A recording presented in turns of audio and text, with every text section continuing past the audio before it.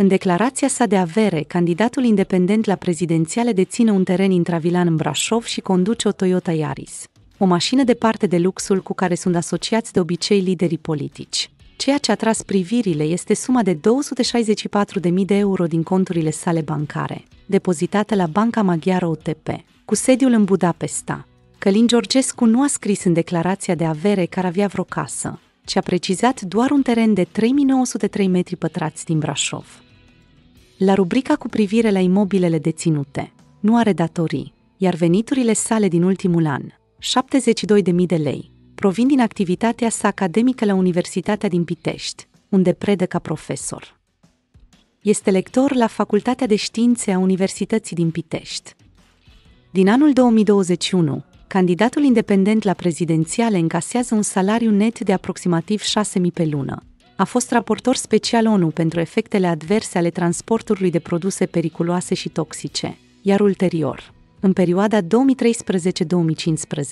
a fost președinte la Centrul European de Cercetare al Clubului de la Roma, Viena, Cosmin Georgescu, fiul lui Călin Georgescu născut pe 15 ianuarie 1989, a fost jucător de tenis, iar cel mai bun loc pe care s-a clasat în clasamentul mondial a fost. 1197, pe 5 iulie 2010.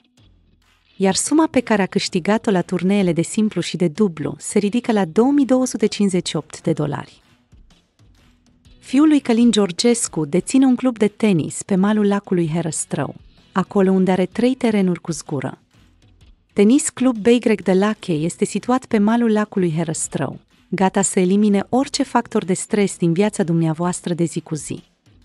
Clubul a fost preluat de doi foști jucători de tenis din circuitul ATP, Cosmin Georgescu și Andrei Săvulescu. Împreună cu echipa lor de antrenori profesioniști, sunt pregătiți să ofere lecții de tenis pentru inițiere, performanță, dar și de relaxare. Clubul de tenis are în dotare trei terenuri cu zgură pentru perioada verii, iar pe timpul iernii, tenismenii se pot antrena în balonul clubului care acoperă două terenuri de tenis. Se arată în descrierea clubului.